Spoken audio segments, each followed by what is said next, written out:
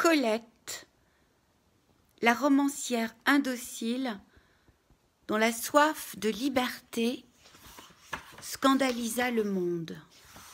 Vous me direz, euh, c'est pas parce qu'on lit Colette euh, qu'il faut se prendre pour Colette. Bon. Parmi les auteurs françaises, Sidonie, Gabrielle, Colette fut l'une des plus connues de l'histoire de la littérature, adoptant le patronyme de son père. Colette se laissa guider par son seul désir, posant un regard simple et naturel sur le monde qui l'entourait et acceptant ce que lui offrait la vie sans a priori. Qui c'est qui écrit ça? C'est pas mal écrit, je trouve. Attendez, on va regarder. RBA. Ah Avant-propos. Bah, c'est pas signé. C'est quoi cette collection? Une photo. Oh Les tresses qu'elle a. Une enfance heureuse est une mauvaise préparation au contact humain. Ben oui, c'est sûr. Moi, j'ai une enfance heureuse. Une fillette au paradis. C'est le concept d'enfance heureuse chez les Russes, c'est drôlement intéressant. Colette grandit dans un petit village de Bourgogne, parmi les forêts, les champs et les petites fermes, qui composèrent le paysage de son enfance et lui inspirèrent une vraie passion de la nature.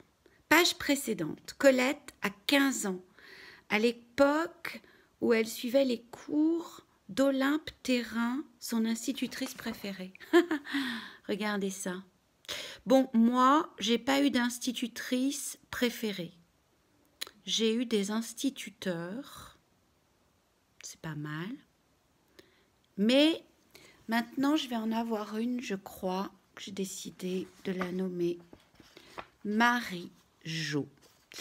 Voilà, soyez heureux, confiait-elle, c'est une façon d'être sage. Moi, c'est exactement ce que m'a dit mon prof de philo euh, en Hippocagne. Il m'a dit, enfin, il me l'a pas dit à moi, mais enfin, je l'ai pris pour un truc qu'il me disait. Il a dit ça à une élève de la classe. Il lui a demandé alors, vous voulez faire quoi? Je sais plus comment elle s'appelle cette fille. Ça m'embête.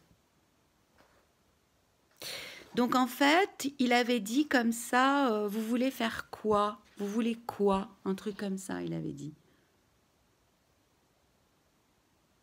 Alors elle, elle avait répondu euh, être heureuse. Ça lui, elle avait, elle avait dit ça comme ça. Bon, enfin, c'est très con ce que je raconte.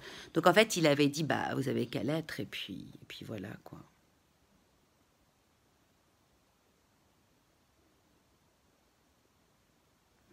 Le désir nous force d'aimer ce qui nous fera souffrir. Bon, c'est Proust qui dit ça. Alors, l'immortalité du désir. Par quoi on commence? Faut commencer par le début ou par la fin?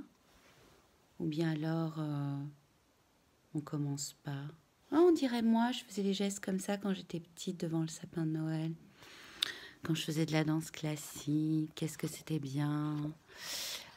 Rue Rodier, dans le 9e arrondissement de Paris, avec Tessa Beaumont et Max Bosoni, et puis Patrick Dupont. Tout le monde n'a pas eu la chance d'avoir des professeurs aussi euh, intéressants. Alors elle fume. Bon. La nouvelle Colette, la séduction qui émane d'un être au sexe incertain ou dissimulé et puissante. Ah ouais. Bon, alors, ah, voilà, là voilà. Alors, je dois vous euh, conseiller, euh, ceux qui regardent. Colette a su personnifier le désenchantement collectif. Le désenchantement collectif à l'égard de valeurs traditionnellement associées à la féminité qui étaient tombées en décadence. Ouais, pourtant elle n'a pas, a pas encore écrit euh, Baise-moi.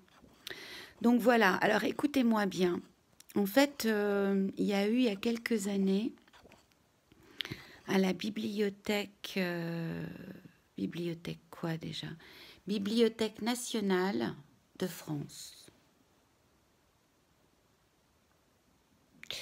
À l'initiative de Anne, Sophie Anne, Sophie Anne. Comment tu vas? Donc, l'éclosion d'une authentique chrysalide. Il y a eu donc euh, un cycle de conférences sur les écrivains journalistes, les écrivains et la presse. Euh, donc Anne-Sophie Robert, François Nida. Donc c'est en ligne, voilà, je fais de la publicité, pourquoi pas. C'est en ligne sur le, site de la BNF. Bien sûr, jolie boucle d'oreille. Moi j'ai toujours pensé que le plus important dans la vie, c'est d'avoir de jolies boucles d'oreilles. Donc voilà, alors euh, donc il y a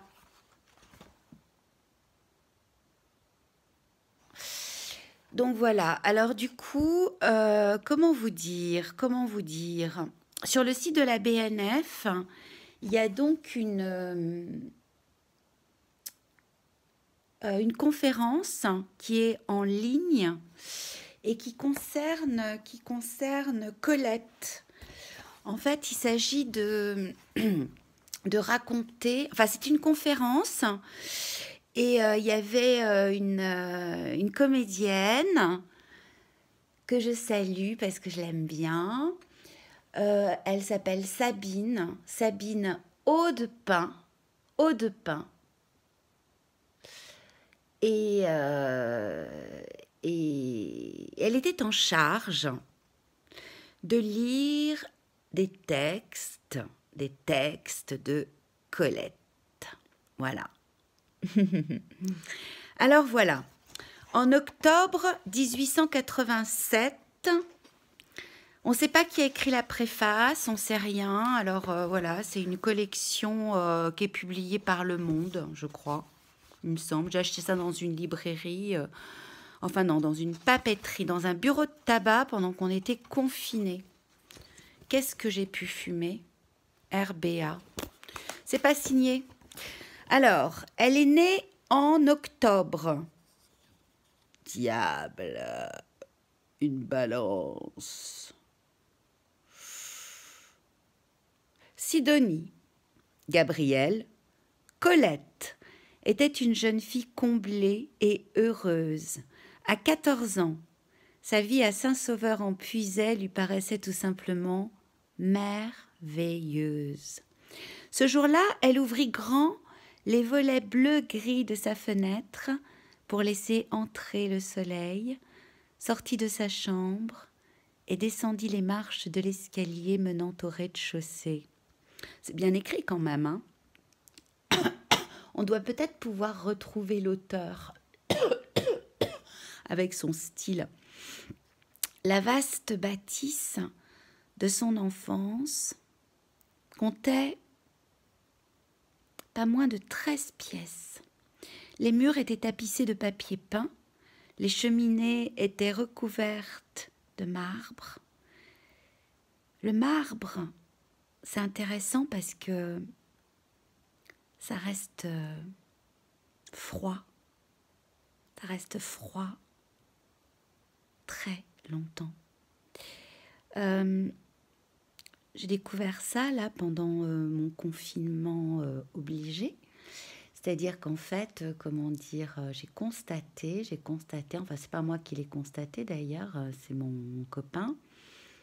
Il a constaté, et j'ai trouvé ce- cette constatation tout à fait intéressante, que le marbre, contrairement à, d'autres pierres, comme la molasse peut-être, je ne sais pas, faudrait demander à Antoine Le Ménestrel. En tout cas, il a constaté que le marbre, alors il y en a d'autres qui ont dû le constater bien avant, hein. mais bon, en tout cas, le marbre, ça euh, protège de la chaleur. Sachez-le, sachez-le, c'est très intéressant. Et la peinture des plaintes imitait les veines serpentines de cette pierre, pierre, pierre noble.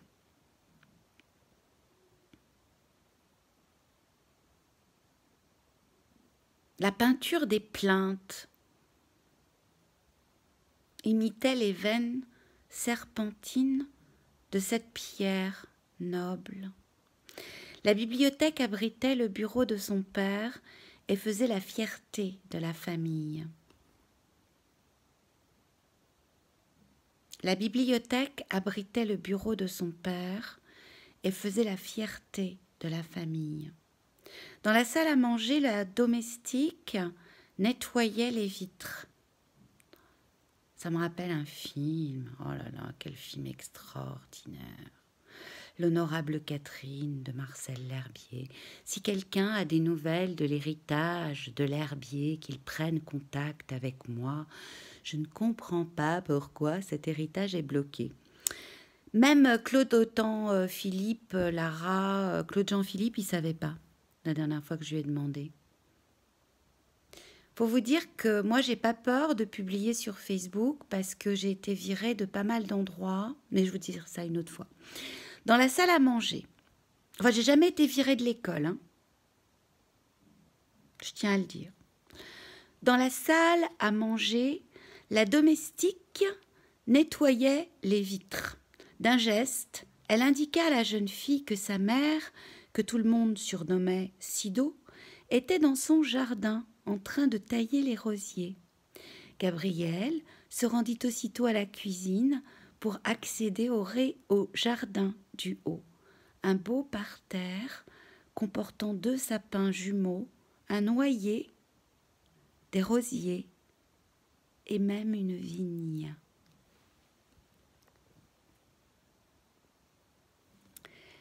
Elle savait qu'elle y trouverait sa mère, coiffée de son éternel grand chapeau de paille et armée d'un sécateur, de ses vieux gants et de son tablier où elle conservait son couteau.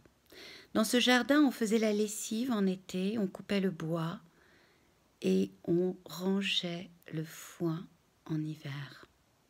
Gabrielle repéra immédiatement sa mère tout à ses pensées. Elle approchait de son visage une magnifique rose rouge. Elle semblait se congratuler de son glorieux visage de jardin, selon l'expression de Colette, qui contrastait avec son visage soucieux de maison qu'elle revêtait lorsqu'elle s'adonnait au ménage. De ce jardin, sa mère cultivait des pensées qu'elle comparait malicieusement au roi Henri VIII d'Angleterre, avec sa barbe ronde, ou à des figures de reîtres, avec leurs pétales jaunes et violets. Concentrée sur sa tâche, elle ne levait les yeux que lorsque sa fille prenait congé pour se rendre à l'école. Il ne lui en fallait alors pas plus pour s'extirper de sa rêverie et imaginer le pire. Gabriel, qui n'avait aucune envie d'entendre les éternelles mises en garde de sa mère, tourna les talons pour éviter un serment. Gabi, comme la surnommait sa famille, traversa la maison et sortit par la porte principale qui donnait rue de l'Hospice. Sur le chemin poussiéreux, elle n'aperçut pas immédiatement la voisine. La vieille Seb venait d'entrer dans le jardin de ses parents en grommelant des choses incompréhensibles.